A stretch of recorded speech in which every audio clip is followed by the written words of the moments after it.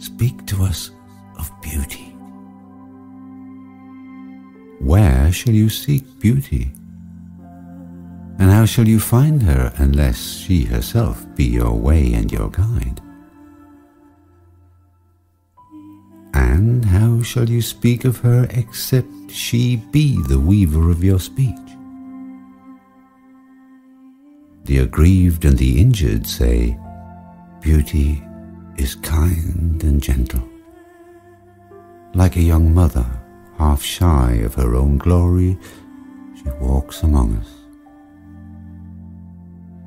and the passionate say, Nay, beauty is a thing of might and dread.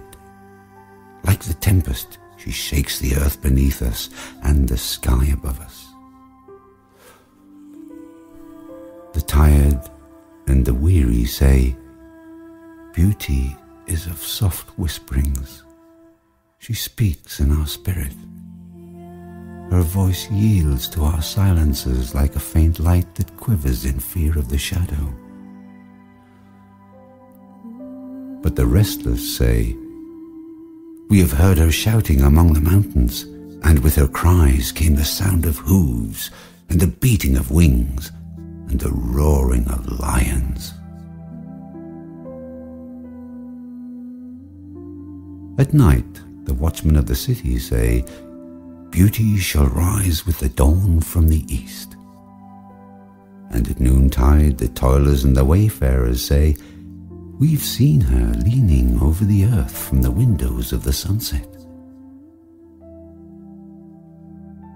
In winter, say the snowbound, she shall come with the spring, leaping upon the hills. And in the summer heat, the reapers say, we have seen her dancing with the autumn leaves, and we saw a drift of snow in her hair.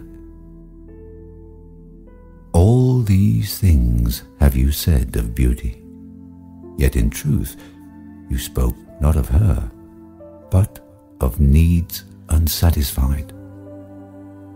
And beauty is not a need, but an ecstasy. It's not a mouth thirsting, nor an empty hand stretched forth, but rather a heart inflamed and a soul enchanted. It is not the image you would see, nor the song you would hear, but rather an image you see though you close your eyes, and a song you hear though you shut your ears. It is not the sap within the furrowed bark, nor a wing attached to a claw, but rather a garden forever in bloom, and a flock of angels forever in flight. People of Orphalese, beauty is life when life unveils her holy face. But you are life, and you are the veil Beauty is eternity, gazing at itself in a mirror. But you are eternity, and you